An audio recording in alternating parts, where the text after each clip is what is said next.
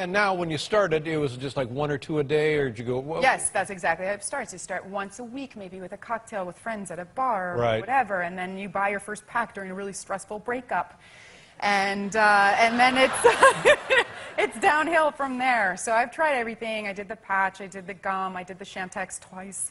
It went bananas. No, no, no, the Chantix is a prescription drug. Is that what that is? It is, and it does really help. I have to say, it did really help. I just woke up one day and forgot I ever wanted to have a cigarette, which Mm-hmm. is awesome. That's why you had to try it twice. Right.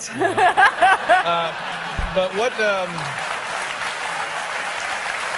this is crazy. but now I do this.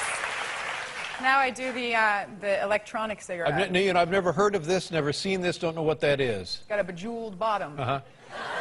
Hey, wait a minute. What was that? Bet I'm freaking y'all No, no, out wait a right minute. now. Huh? Am I gonna get arrested by the PC What- police? Wait a minute. What, what, what was that? It's water vapor. I'm Really? essentially humidifying the space. Yeah, and, and, and but there's nicotine in there. There is. It's a battery. Mm-hmm. Um, this part is a battery that screws into an outlet, and then this is the filter. And this has liquid nicotine in it, so that um, it heats it up, and you feel, you know, you feel like you're smoking. You get the habit of this. Right. You blow out water vapor, so you're not harming anyone around you, and you're not harming Now, yourself. will it will it make you dizzy when you take a hit of the nicotine? Yeah, try it. Because I haven't, I haven't had, I haven't had a. It's, I, th I thought at first it was a dog whistle. I just take a regular.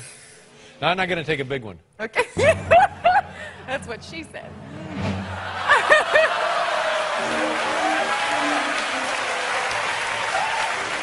oh, man. Are we getting in trouble for this?